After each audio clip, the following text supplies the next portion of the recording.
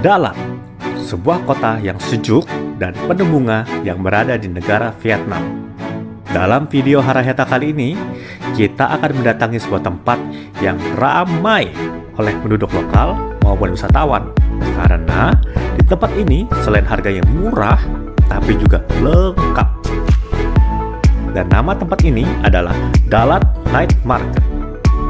Hari ini kita ke sana itu untuk mencoba suatu makanan yang khusus dan cukup unik, yaitu daging burung onta.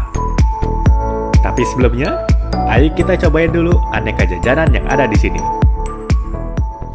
Halo guys, kembali lagi bersama gue Hans yang kami makan cita-cita koros. Nanda yang lagi diet tapi mulai besok. Dan channel ini namanya Haraheta. Buat kalian suka video makan-makan, jalan-jalan, dan juga lucu-lucuan. Jangan lupa untuk klik tombol subscribe dan juga nyalakan loncengnya. Jadi malam ini, malam yang dingin ini, Dingin, Kita tapi masih- aku pakai pendek-pendek. kita masih di kota Dalat, Vietnam. Dan Ya. sekarang kita lagi jalan-jalan di pasar malamnya. Malam, ya. Kita akan keliling-keliling, mau shopping buat oleh-oleh, baju, dan juga yang pasti makanan, makanan, ya. pasti. Ayo kita telusuri pasar Dalat. Yo, Pasar malam, go. Dalat.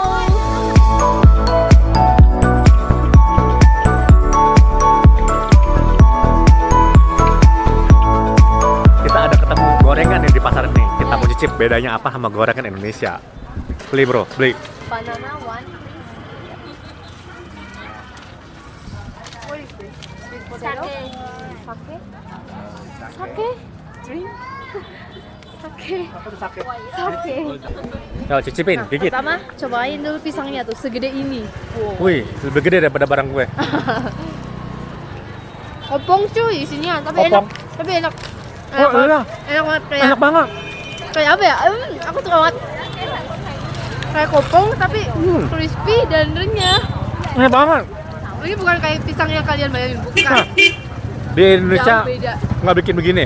Dan di dalamnya kopong, rasanya tuh tepungnya udah dicampur sama pisangnya. Hmm. Dan gue lihat tadi kita bisa lihat minyak itu bersih. Masih baru, bukan bersih, masih baru, masih bening. Dan pisangnya itu manis. Hmm, Terus luarnya crispy banget. Aduh enak banget ini. enak banget. Aku suka. Nanti aku beli lagi. Eh, cobain sakenya. Oke. Karena Nah. ada dua. Satu-satu. Nah, Nah, yang sake ini nggak tahu sake nih. itu apa. Tapi ada yang jual sake gitu. Nah, cobain sake. Sake.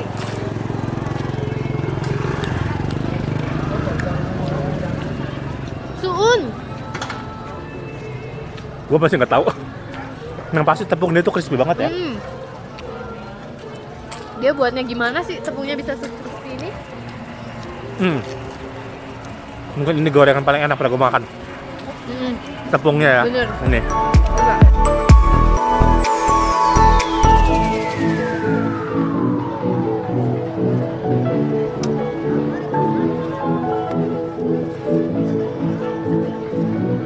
Nah, kita ada temuin makanan yang kita nggak kenal lagi.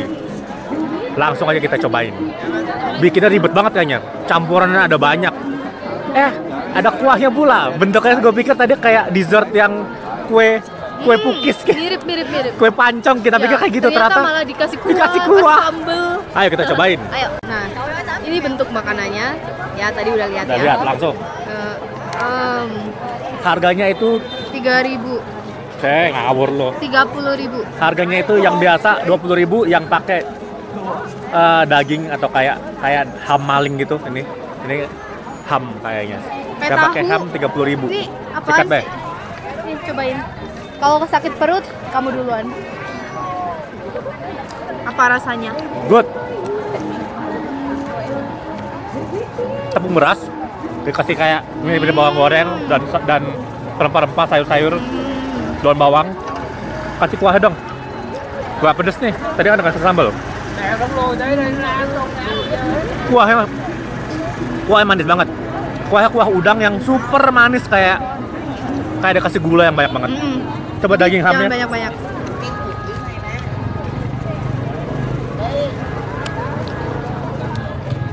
Nah, apa itu? Hamnya asin, aneh ya. Hmm. Nggak tahu apa itu. bukan sosis babi, bukan sosis sa- sa-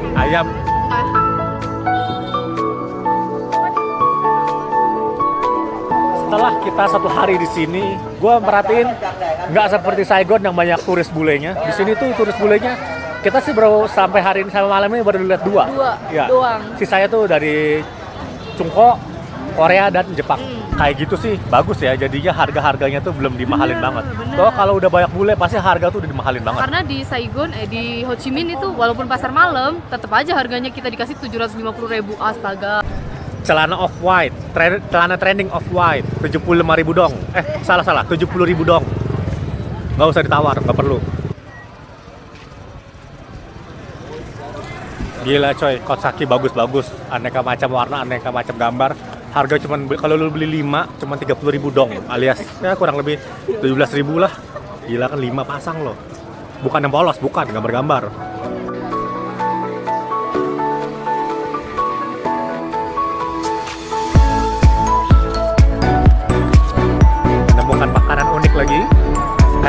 Ketan gitu ada warna ungu ada warna putih lalu kasih topping kita cobain aja langsung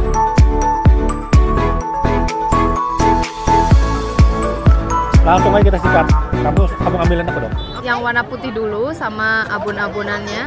Oh sure. aduh enak apa kesumpit ini ketan soalnya Iya ini Ketan ketan langsung ternyata. kasih. Coba. Abon bukan?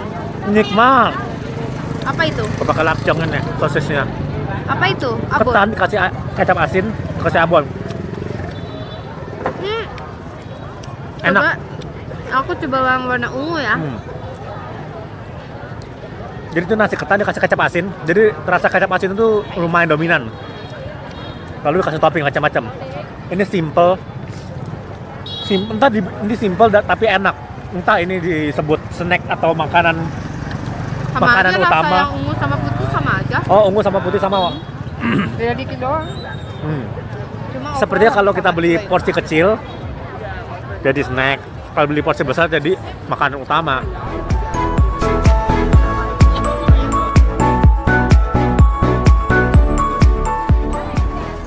Itu nasi ketan enak banget. Hmm. Lama-lama di belakang semakin enak. Ya. Cocok banget ketan itu pakai kecap asin tuh enak banget ternyata. Selama ini kita di Indonesia kenal ketan buat jadi dessert kasih manis manis manis ya. Itu lagi? Ini asin, enak loh.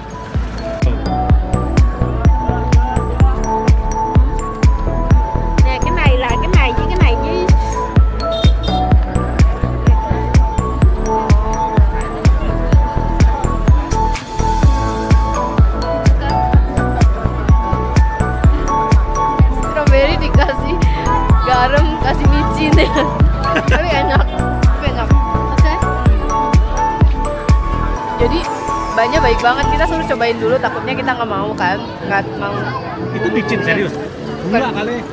garam garam. Tapi tidak disuruh cobain dulu. Yes chili sama cabe juga.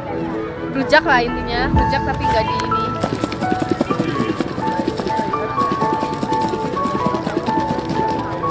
Baik jago kocok ya.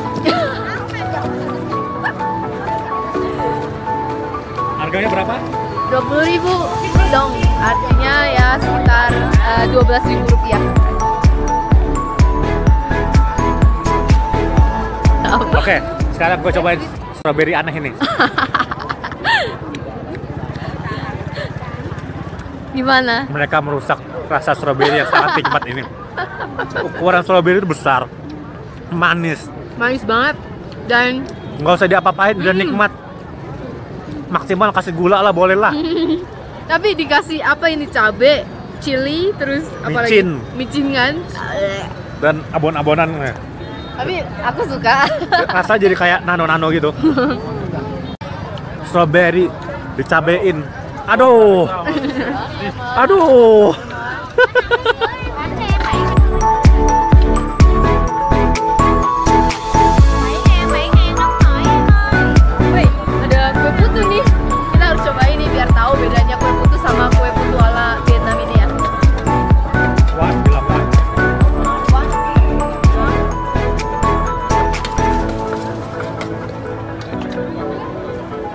Saatnya kita cobain kue putu Vietnam alias bengheng, bengheng.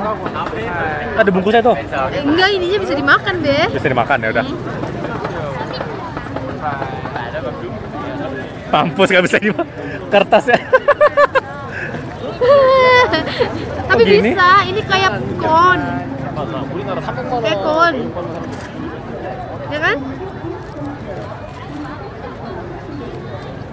Oh, dalamnya ada kacangnya.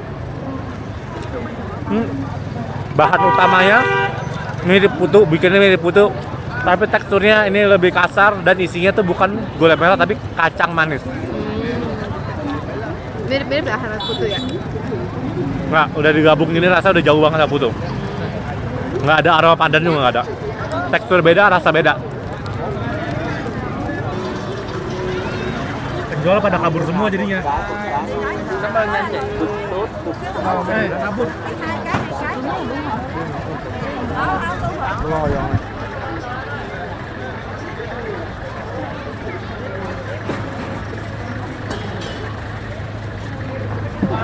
Sepertinya pasar malam ini tuh ilegal deh.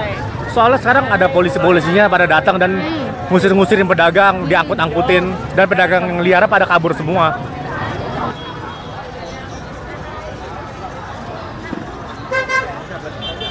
Tuh lagi pada beres-beres semua. Ini polisi baju hijau dan dia ngusir-ngusirin semua pedagang di sini. Gue pikir sini tuh resmi, ternyata ilegal. Waduh, pengacau tuh datang. Pengacau aja sih, lagi asik-asik juga ya. Beh, tuh tempat makan. Kayak food court tuh. Tuh food court. Tempat favorit sih, Han. Yuk kita makan.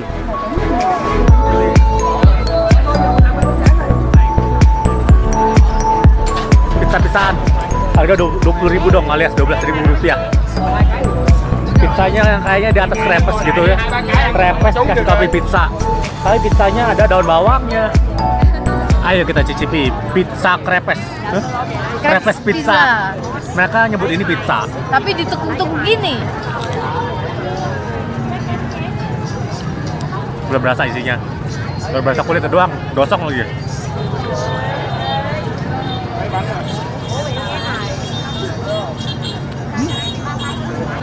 jadi dasar rasanya tuh telur.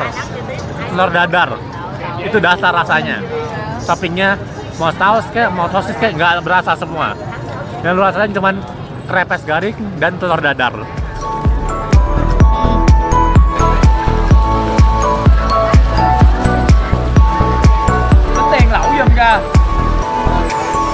Du du sao See the menu.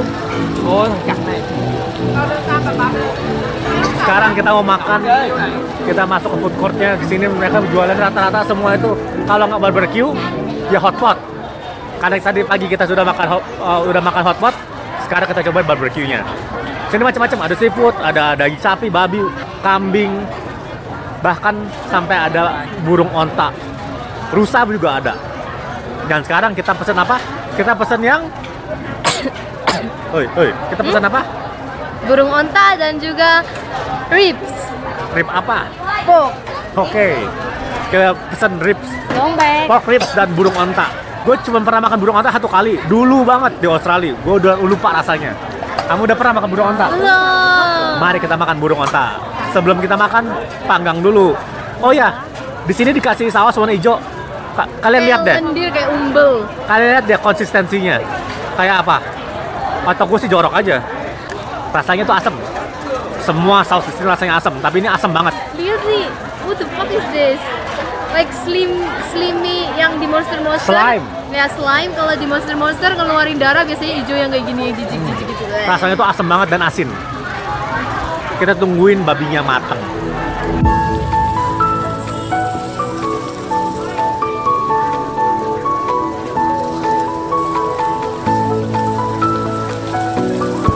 Sepertinya kalau buat meat lover di sini tuh puas banget ya.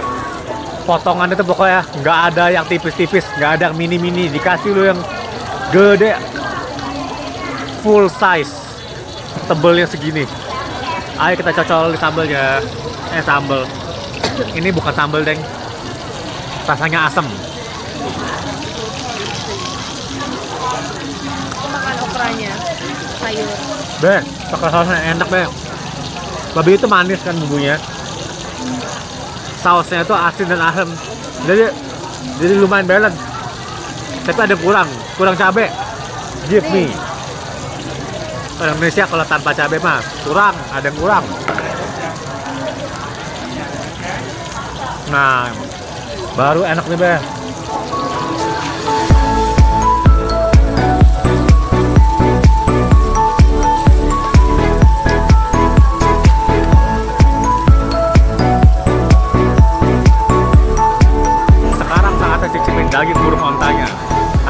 ostrich gue cicip tanpa saus dulu ya.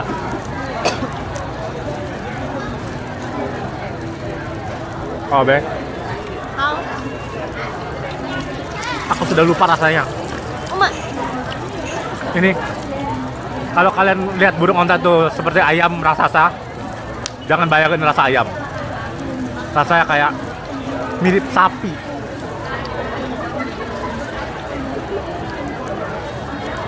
lembut banget. Ini Mirip- bukan ayam. nah mirip sapi. Burung unta bukan unggas karena rasanya sangat berbeda. iya. Jadi rasa rasanya mirip sapi. Teksturnya mirip campur antara ayam dan babi. Hmm. ya. Tapi rasanya itu mirip sapi